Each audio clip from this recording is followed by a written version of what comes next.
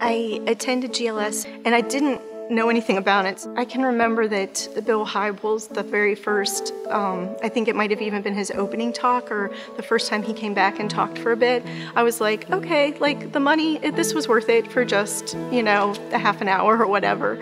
And so um, I was, I, like, as each speaker spoke, I just was like, oh my goodness, this was for me, this was for me. And then Brian Houston was talking about, um, and they played the song um, I'm no longer a slave to fear, for I am a child of God's.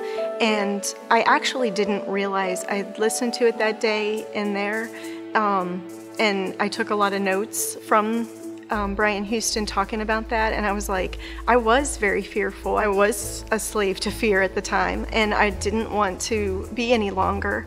And this year, I feel like that has been like my theme song. I am no longer a slave to fear, for I am a child of God.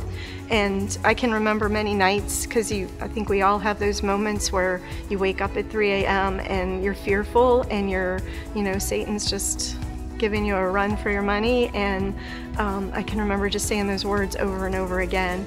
I can't say that I did think of myself as a leader.